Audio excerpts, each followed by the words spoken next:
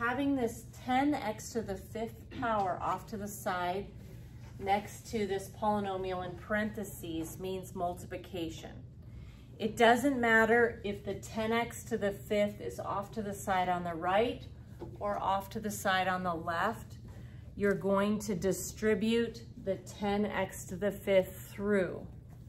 Now, just to emphasize what's going on, I've rewritten the original in color to emphasize the exponents that are in blue and the coefficient here, 8, negative 5, and the constant in green. Okay, so now if I'm going to multiply, that means I'm going to take this negative 10x to the fifth times the front one, times the middle one, and to the back one. Sometimes you'll see this expanded, but frankly, sometimes if you write too much, I think that it, it starts making it more complicated than it is.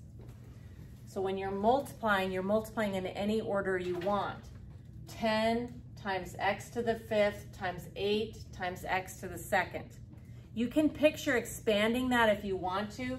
10 times x times x times x times x times x times 8 times x times x.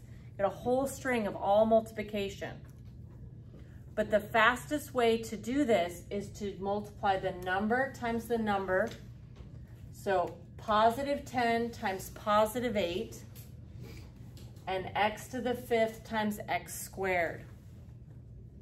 Okay, so 10 times 8 is 80 and x to the fifth times x squared, we would add exponents and end up with 80x to the seventh. Okay, then let's do that again. 10x to the fifth times negative 5x to the third. Positive times negative is negative. And then 10 times 5 is 50. And x to the fifth times x to the third, we're going to add exponents. So this ends up being negative 50x to the eighth. I never write this middle step. That's just what's going on in my head. 10x to the fifth times 6. Positive times positive is positive. 10 times 6 is 60. And all I have is x to the fifth. So just x to the fifth. Bringing that down, I have my final answer.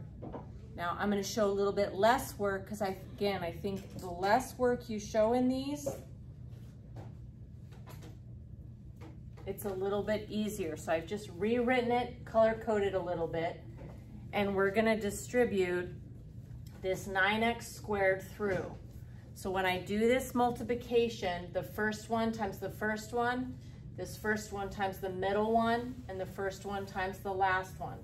So multiplying these two together, let's do 9 times 2, 18, and then x squared times x to the ninth is x to the 11th. So we have 18x to the 11th. Next one, positive times positive is positive.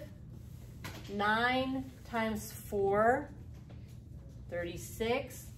And x squared times x to the first is x cubed. So sign, coefficient, and then the degree. 9 times 2, 18, x squared times x to the ninth, x to the 11th. 9 times 4 is 36, x squared times x to the first, x to the third. Okay, finally, 9x squared times 8. 9 times 8 is 72. And then we have x squareds.